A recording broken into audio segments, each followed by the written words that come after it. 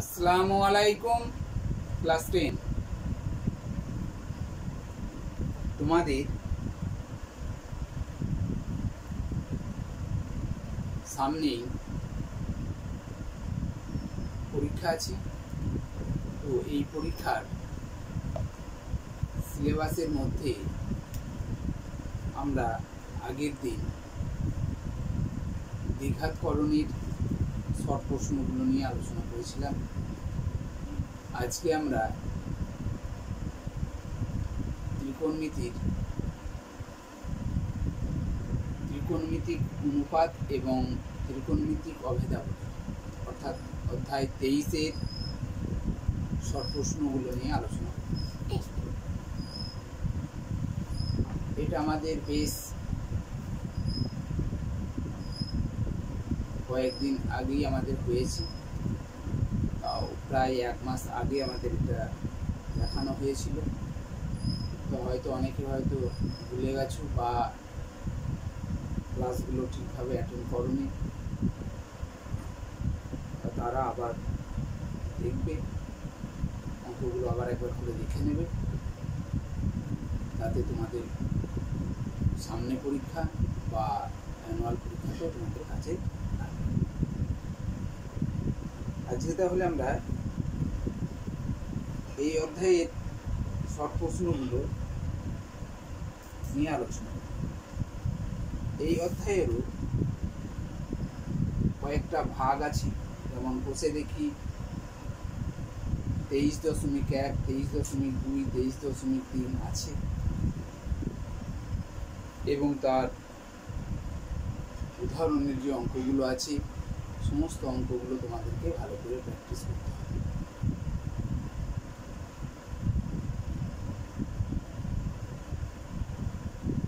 আমরা আজকে এই চ্যাপ্টার অর্থাৎ তেইশ অধ্যায়ের একেবারে শেষের দিকে যে তেইশ দশমিক তিনের যে শর্ট প্রশ্নগুলো আছে এমসিকিউ আছে, শূন্যস্থান আছে সূত্র মিথ্যা আছে, অতি সংক্ষিপ্ত প্রশ্ন উত্তর আছে তো সেগুলো নিয়ে আলোচনা করব। তারপর সময় থাকলে আমরা উদাহরণের কিছু অঙ্ক নিয়ে আলোচনায় থাকব দেখো, আজকে তাহলে আমরা অতি সংক্ষিপ্ত প্রশ্নগুলো যেগুলো আছে এমসিকিউ টাইপের প্রশ্ন দেখবে। তিনশো বারো পেজের নয়ের দাগের অঙ্কগুলো হচ্ছে, নয়ের এ দাগের অঙ্কগুলো হচ্ছে এমসিকিউ টাইপ আর এমসিকিউ টাইপের প্রশ্নগুলো আমরা এরকমভাবে করি দেখো এখানে কি দিয়ে আছে? প্রথমে একের অঙ্কটাই দেখো। একের অঙ্কটা কি বলেছে? বলা আছে যে থ্রি এক্স সমান কোসেক আলফা এবং থ্রি বাই এক্স সমান কট আলফা হলে three into x square minus one by x স্কোয়ারের মান। তাহলে দেখো কোসেক আছে আর কট আছে। তাহলে আমাদের তো সূত্র জানা আছে। কোসেক আর কটের যে সূত্র সেই সূত্র সাহায্য নিয়ে আমাকে এই অঙ্কটা করতে হবে। যে আমরা জানি cosec square theta minus cot square theta সমান ওয়ান এই সূত্রটা আপনাকে এখানে কাজে লাগাতে হবে। তাহলে cosec square theta minus cot square theta সমান ঠিক আছে? দেখো কোসেক থিটার মান থ্রি এক্স দেওয়া আছে। তার স্কোয়ার হবে। তাহলে থ্রি এক্স তার স্কোয়ার মানটা বসিয়ে দিলাম। আর ওয়ান বাই থ্রি এক্স তার ঠিক আছে? কটের মান ওয়ান বাই থ্রি এক্স এটা স্কোয়ার করলে কত হবে? Nine x square minus one by দেখো নাইন এক্স সমান।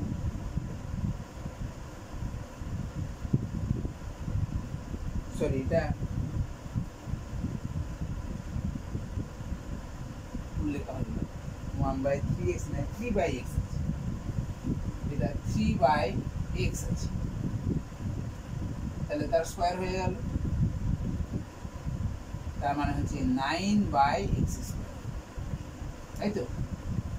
এটা কট মানে ছিল থ্রি বাই এক্স তাহলে দেখো, এখান থেকে আমরা একটা কমন নিতে পারছি নাইন নাইন কমন নাও, তাহলে কি করে থাকবে? X square minus one by x square সমান কিন্তু আমার চাইছে three into x square minus one by x square এটা সমান আমার হয়ে গেল এখানে নাইন ইন্টু এইটা তাহলে দেখো এই নাইনটাকে আমরা যদি এই উৎপাদকে ভেঙে নিই, তাহলে থ্রি ইন্টু থ্রি লিখতে পারি নাইনটাকে তাহলে x square minus one by x square সমান ওয়ান এখন আমাকে এটার মান বার করতে হবে, তাহলে থ্রি এইটাকে রেখে দেবো, আর এই তিনটে গুণ আকার আছে, ওইদিকে নিয়ে চলে যাব।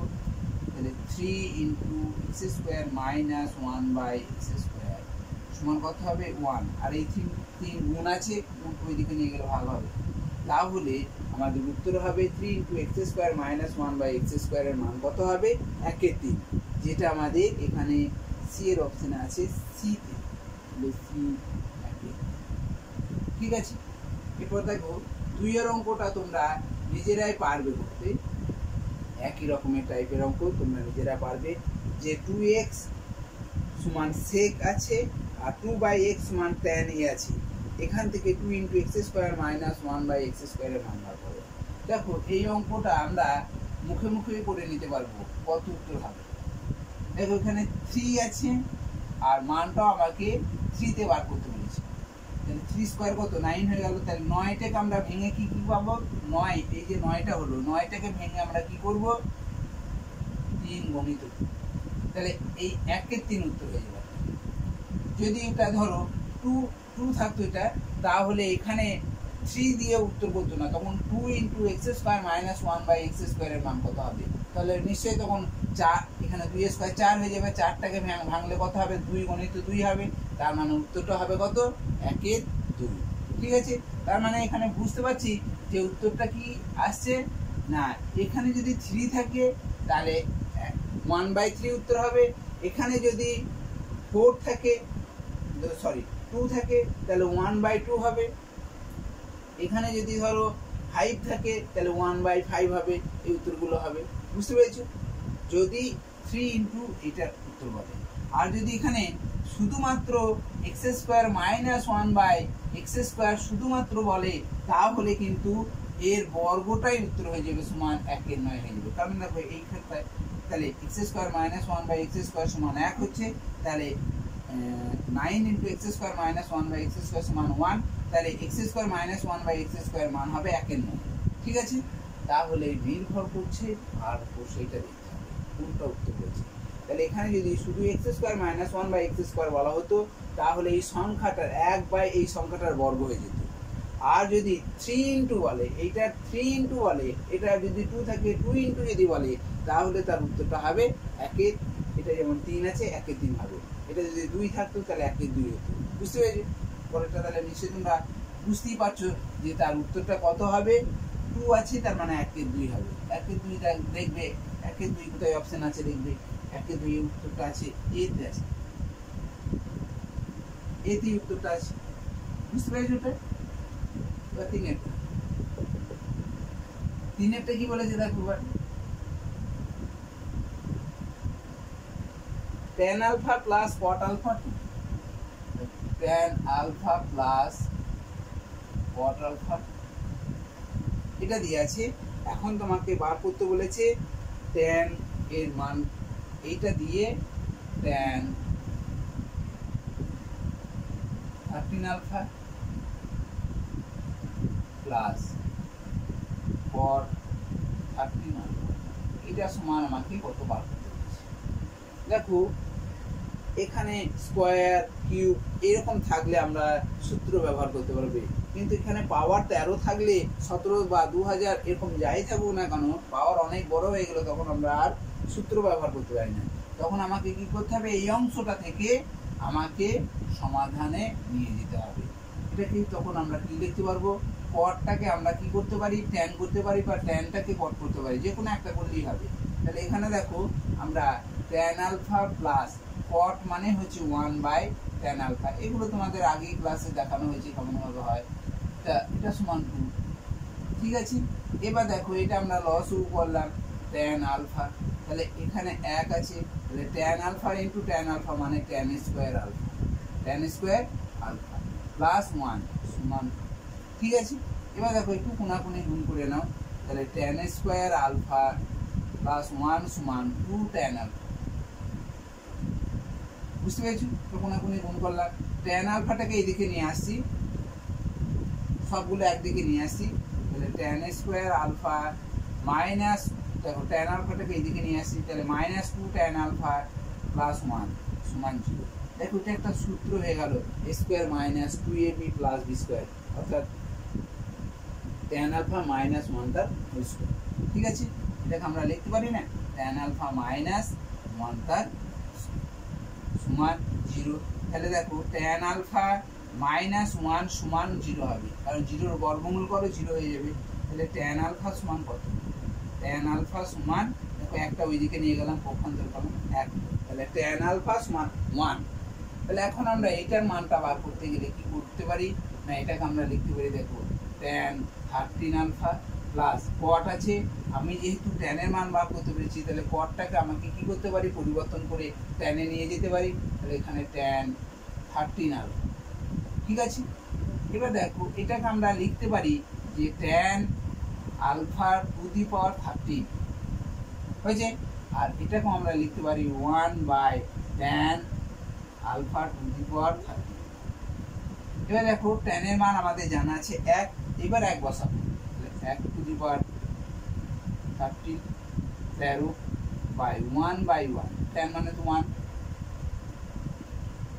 তাহলে একের পাওয়ার যাই থাকুক না কেন, এখানে ধনাত্মক আছে।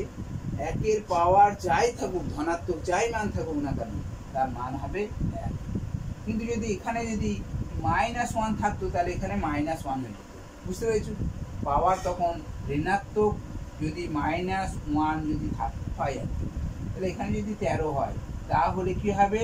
না পাওয়ারটা বিজোর সংখ্যায় আছে, তাহলে মাইনাস ওয়ান ধরো minus one to the power বারো আছে, তাহলে প্লাস ওয়ান হয়ে যাবে। পাওয়ারটা জোর সংখ্যায় থাকলে তখন ঋণাত্মকটা ধন বুঝতে পেরেছি? তাহলে এখানে দেখো ওয়ান বাই ওয়ান মানে ওয়ানই হলো, তার পাওয়ার মানে তেরো মানে ওয়ানই বসবে তাহলে এখানে তাহলে এর উত্তরটা হচ্ছে বুঝতে পেরেছ? এই অঙ্ক বুঝতে পারলে তাহলে এরকম ধরনের অঙ্ক তোমাদের পরীক্ষাতে থাকতে পারে। তাহলে দেখে নেবে একবার। তাহলে এর উত্তরটা দুই আছে, দুইটা দেখি আমাদের কোথায় আছে? সি অপশানে আছে সি হচ্ছে এরপর দেখো, চারের দাগের যে অঙ্কটা আছে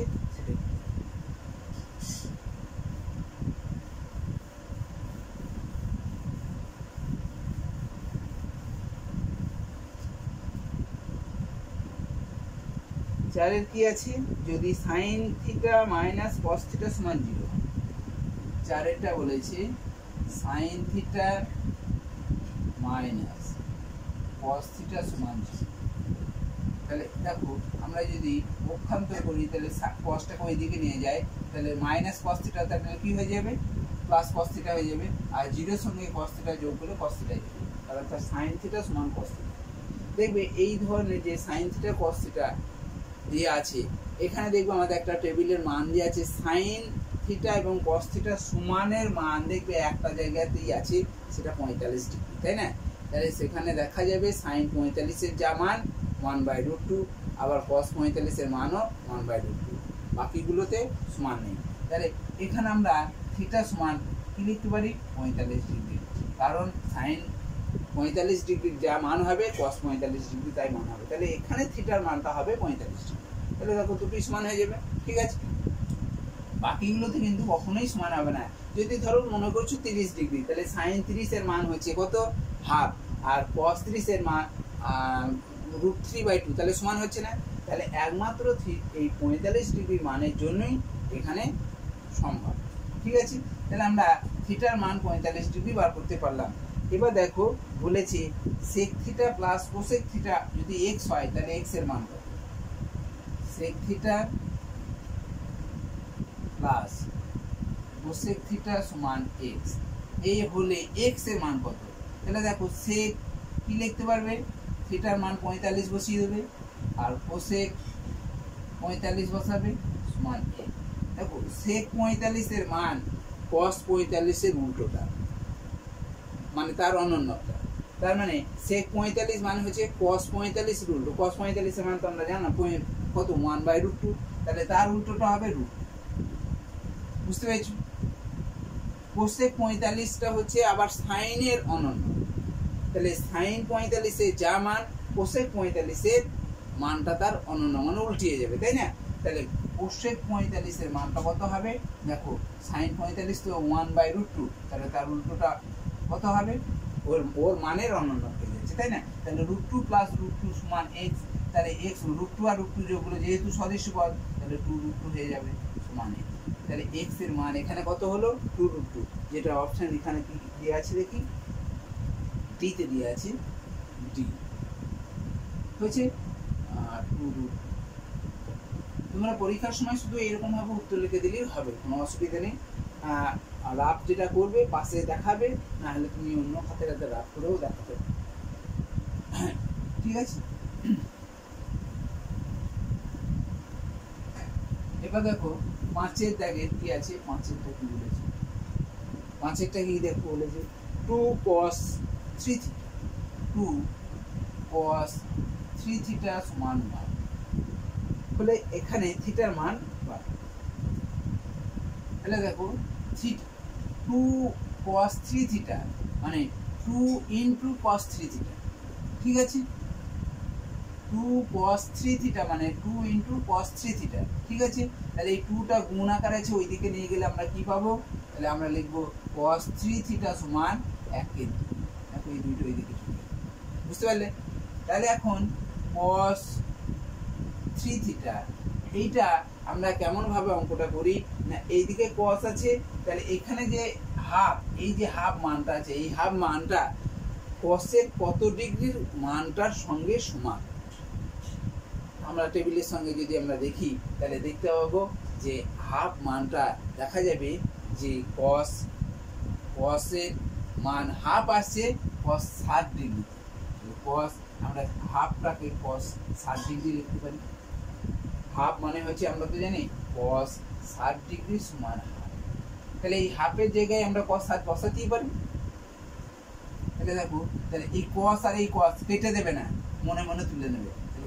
থ্রি থিটা সমান ষাট হয়েছে? তাহলে থিটা সমান কত হবে? ষাট ডিগ্রি বাই তিন। তাহলে তিন কুড়ি সমান থিটা সমান কুড়ি বুঝতে পেরেছ? তাহলে এখানে অপশন আছে সিতে অর্থাৎ পাঁচে সি। কুড়ি বুঝে গেল? এই অঙ্কটা অনেক রকম ভাবে চেঞ্জ করতে পারে। ধরো এখানে রুট টু দেওয়া হলো। তাহলে অঙ্কটা পারবে করতে। তাহলে রুট টুটা এখানে রুট টু হয়ে যাবে। তাহলে ওয়ান বাই রুট টু মান কত? পঁয়তাল্লিশ ডিগ্রি। কস পঁয়তাল্লিশ ডিগ্রি, তাহলে পঁয়তাল্লিশ হয়ে যাবে। তাহলে থ্রি থিটা পঁয়তাল্লিশ থিটা পনেরো ডিগ্রি হয়ে যাবে। বুঝতে পেরেছি? ধরো আমরা এই অঙ্কটা এইরকম ভাবে না দিয়ে এখানে ফাইভ থিটা বলে দিলাম। তার মানে কত হতে পারে? তাহলে ষাট। তাহলে এখানে ফাইভ থিটা হবে। ফাইভ ফাইভ থিটা মানে ষাট ডিগ্রি থিটা সমান বারো ডিগ্রি বুঝতে পেরেছি? বুঝতে পারলে এটা? এরপরটা দেখো কি দিয়ে আছে? সত্য, মিথ্যা দিয়ে আছে। আগে তো তোমাদের এগুলো করানো হয়েছে সবই। তাহলে বিয়ের দাগে আছে সত্য, মিথ্যা। দেখো, প্রথমে অঙ্কটা দিয়ে আছে যে sec alpha plus six square alpha plus cos square alpha six square alpha plus square alpha. এর ক্ষুদ্রতম মান বা সর্বনিম্ন মানটা হচ্ছে দুই। আচ্ছা আমাকে দেখো, এটা আমরা যদি এ স্কোয়ার প্লাস বি স্কোয়ারের সূত্র করি তাহলে এ স্কোয়ার প্লাস বি স্কোয়ারের আমাদের দুটো সূত্র আছে। এ প্লাস বি তার বর্গ মাইনাস টু এ বি আর একটা সূত্র আছে একটা আর একটা সূত্র আছে কি? এ মাইনাস বি তার বর্গ প্লাস এই দুটো সূত্র সাহায্য নিয়ে আমাকে এই অঙ্কটাকে করতে হবে।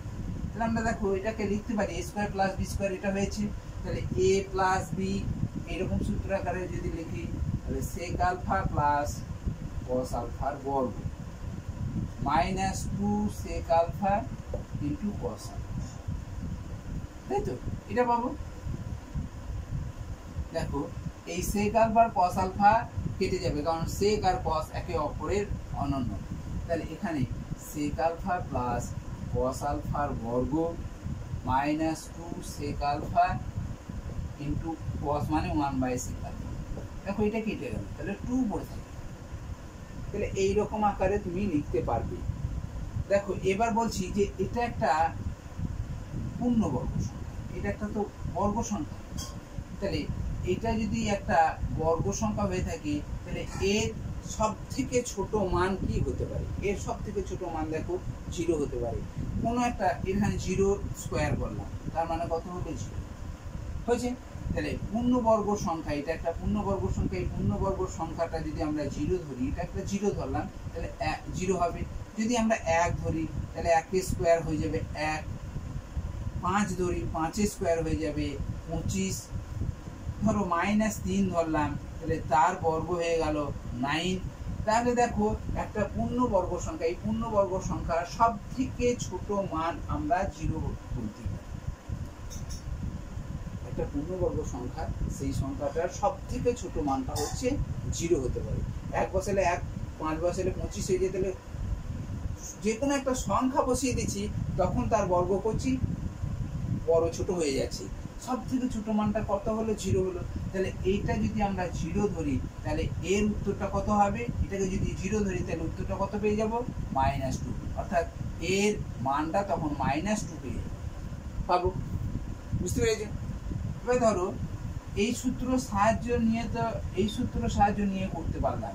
আমরা তো এই সূত্র সাহায্য নিয়েও করতে পারি। তখন আমরা কি করব? না, এই সূত্রটায় দেখো, এটাকে একটু চেঞ্জ করে দিচ্ছি। তখন এইটা মাইনাস হয়ে যাবে, এটা মাইনাস হয়ে যাবে, এটা প্লাস তখন আমরা এটাকে যদি জিরো মনে করি, যে কোনো পূর্ণবর্গ সংখ্যা সর্বনিম্ন মানটা হচ্ছে জিরো এটা একটা পূর্ণবর্গ এর সব থেকে ছোট মানটাই হবে জিরো তাহলে জিরো স্কোয়ার বলে জিরোই হবে, তাই না? এখন দেখো, তাহলে এর পরের মানটা পেয়ে যাচ্ছি প্লাস টু একটা হচ্ছে মাইনাস টু এর মানটা মাইনাস টু হলো একটা। এর মানটা আবার প্লাস টু হলো। এবার আমার প্রশ্ন হচ্ছে, এটার মধ্যে কোনটাকে ক্ষুদ্রতম ধরবো? সব থেকে ছোট মান কোনটাকে ধরবো? তা তখন আমাকে ধরতে হবে, দেখো প্লাস টুটাকে আমরা কি ধরবো? কারণ, না, এটা একটা বর্গ, এটা একটা বর্গ। এটা তো বর্গ একটা। সিক্স স্কোয়ার আলফা মানে সিক্স আলফা স্কোয়ার এটা একটা বর্গ সংখ্যা, এটাও একটা বর্গ সংখ্যা। দেখো কস আলফা স্কোয়ার তাহলে এই একটা বর্গ সংখ্যা, এই একটা বর্গ সংখ্যা। দুটো বর্গ সংখ্যার, দুটো বর্গ সংখ্যার সমষ্টি কখনোই ঋণাত্মক হতে পারে না। বুঝতে পেরেছ? দুটো বর্গ সংখ্যার সমষ্টি কখনোই ঋণাত্মক হতে পারে না। তাই ধনাত্মক মানটি এখানে সত্য হবে। ঠিক আছে?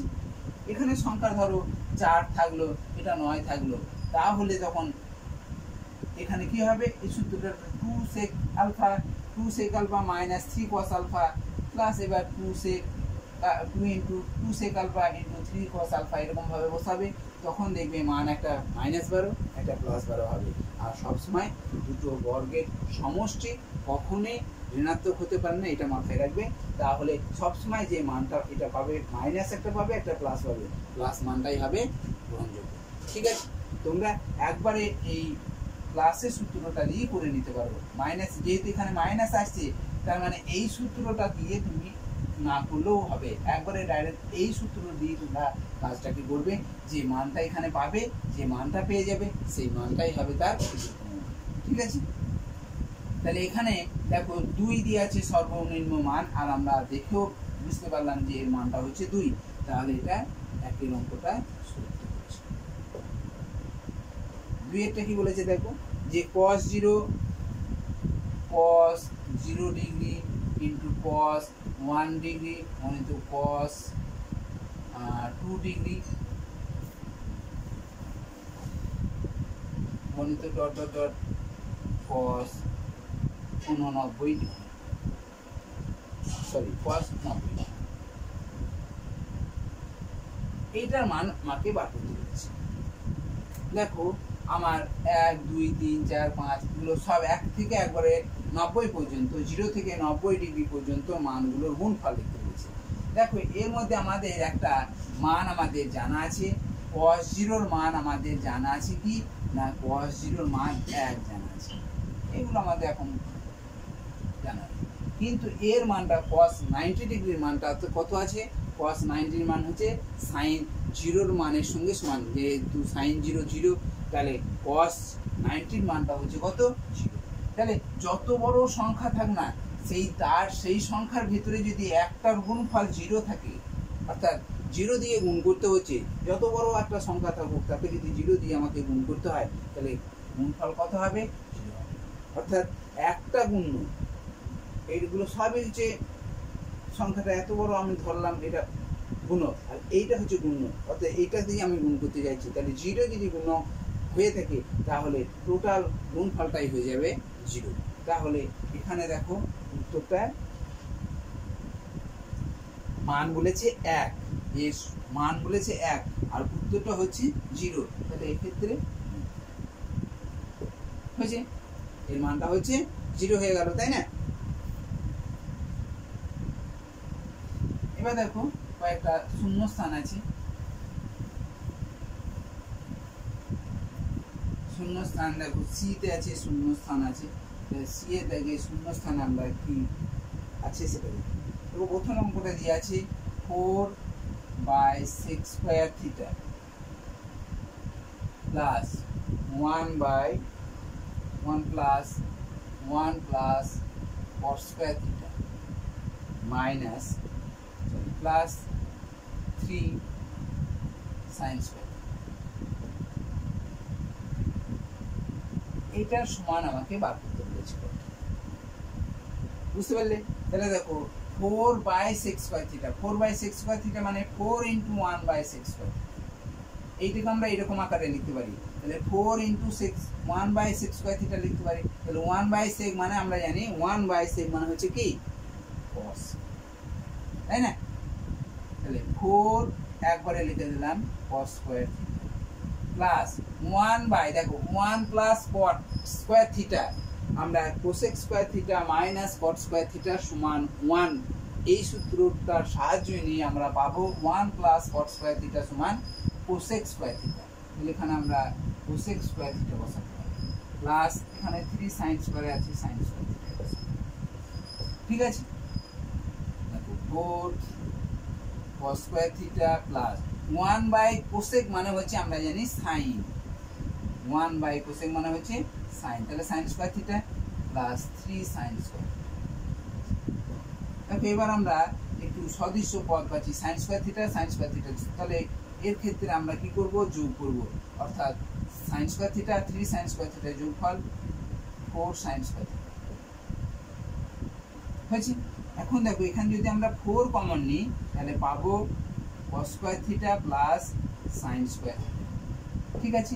আমরা এখানে একটা সূত্র আছে যে আমরা জানি সাইন স্কোয়ার প্লাস কস মানটা হচ্ছে ওয়ান তাহলে এর মানটা আমরা কত লিখতে পারব? ওয়ান ফোর ইন্টু ওয়ান সমান ফোর অর্থাৎ এর মান হবে কত? চার। বুঝতে পেরেছেন? তাহলে সি এর থেকে একের অঙ্কটা হবে চার। শূন্য স্থানগুলো চার দুইয়ের অঙ্কটা দেখি। এক একটা হলো, এবার দুই একটা দেখি নাকি?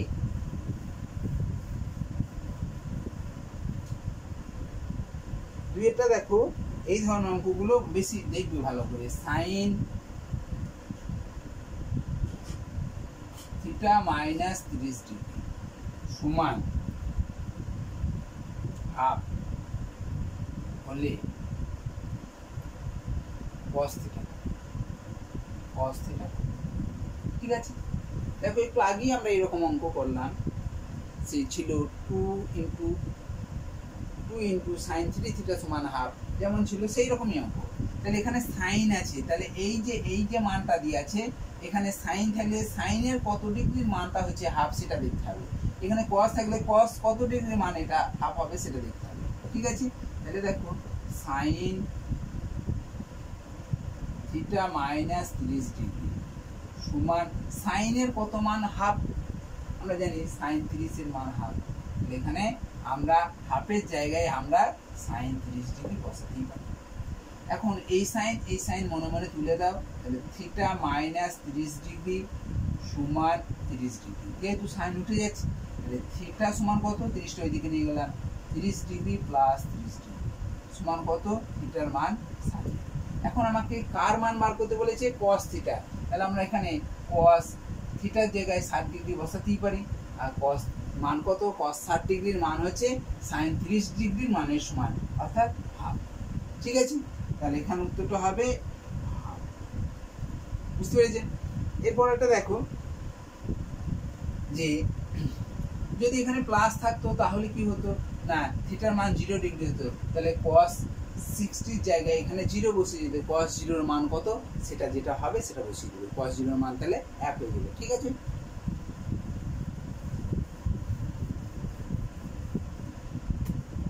দেখো এরপর দিয়ে আছে যে cos square theta minus sin square theta সমান হাফ হলে